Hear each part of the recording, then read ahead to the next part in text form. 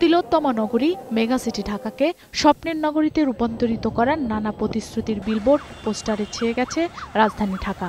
প্রার্থীরা রাজনৈতিক অবস্থান আর ব্যক্তি ইমেজ কাজে লাগিয়ে ভোটারদের কাছে পৌঁছাতে চাইছেন। পরিচ্ছন্ন নগরী, স্বাস্থ্য, শিক্ষা, বিনোদন সহ সব ধরনের নাগরিক চাহিদা পূরণে নিজেকে উপস্থাপন করছেন সম্ভাব্য সেরা নগরপিতা হিসাবে।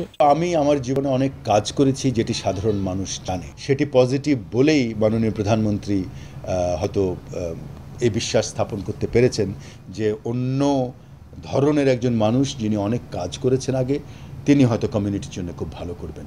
বাসযোগ্য ঢাকা এবং দুর্নীতিমুক্ত সিটি কর্পোরেশন প্রশাসন এই মূল অঙ্গীকার নিয়ে এই নির্বাচনটা অংশগ্রহণ করছি। একটা বিকল্প রাজনীতি বিকল্প নেতৃত্ব একটা মানবিক ঢাকা গড়ে তোলা। ঢাকা মহানগর উত্তরের প্রতিটি কাজে রাজনৈতিক কাজে সামাজিক কাজে সুখে দুঃখে আমি জন্মগতভাবে সবসময় তাদের সাথে আছি। এবং মৃত্যুর আগ মুহূর্ত পর্যন্ত আমি থাকতে চাই। সম্ভাব্য প্রার্থীরা মনে করছেন স্থানীয় সরকারের এই নির্বাচনে সব দলের অংশগ্রহণে অবাধ সুষ্ঠু নিরপেক্ষভাবে ভোটাররা তাদের নগরপিতা নির্বাচন করবেন। সরকারি দল বিরোধী দল এবং অন্যান্য দল যারা থাকবেন সকলের সমান অধিকার থাকবেন।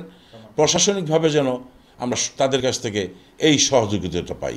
সবাইকে যদি এই নির্বাচনে অংশগ্রহণ করানো না যায় এবং ভোটারদের যদি নিরাপত্তা নিশ্চিত করা না যায় তাহলে এই এই ভোটটা আমার ধারণা এই নির্বাচনটা সেইভাবে জনগণের সম্পৃক্ততা তৈরি নাও হতে পারে।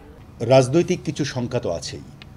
পরিস্থিতি এখন যতটুকু ভালো তার চেয়ে আরও স্টেবল হবে বলে মনে করি।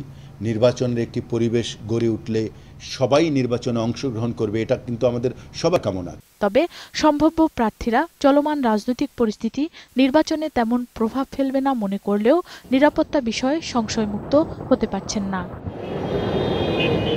ফাল্গুনী দত্ত একুশে টেলিভিশন ঢাকা।